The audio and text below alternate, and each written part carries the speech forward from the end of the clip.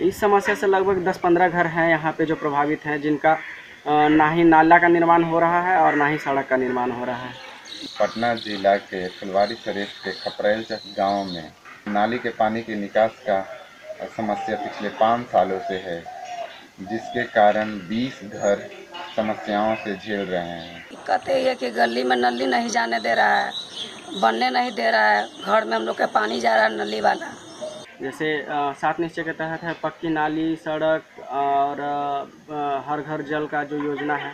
जी। ये पंचायत है परसा बाज़ार परसा पंचायत खपड़ेलचा गाँव वार्ड नंबर एक में जहाँ पे काम तो सभी जगह लगा हुआ है। हमारे गली में है है जयनारायण यादव जी जो वो कहते हैं कि मेरा जितना मतलब जगह छोड़ा हुआ है गली में उतना में हम कोई भी काम नहीं होने देंगे। का समस्या करीब पाँच साल से है। तो इस समस्या को लेकर के किसी पदाधिकारी या मुखिया जी से बात की है? मुखिया जी से बात किए हैं। अब उनका भी बात ही नहीं मान रहा है।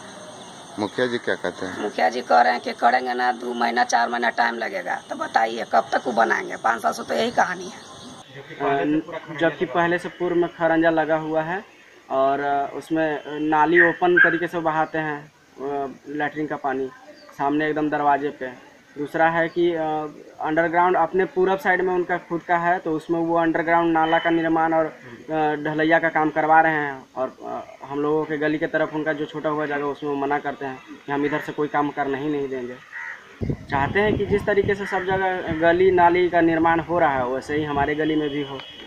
मैंने इस समस्या से जुड़े पदाधिकारी, मुखिया से बातचीत किया तो उन्होंने मुझे आश्वासन दिया कि वार्ड नंबर एक में और गली में अभी काम चालू है। वीडियो देखने वाले सभी साथियों से आग्रह करता हूँ कि प्रखंड विकास पदाधिकारी का मोबाइल नंबर चौरानवे, इकतीस, इक्यासी, अस्सी, ज़ीरो दो पे कॉल करके हमारी मदद करें।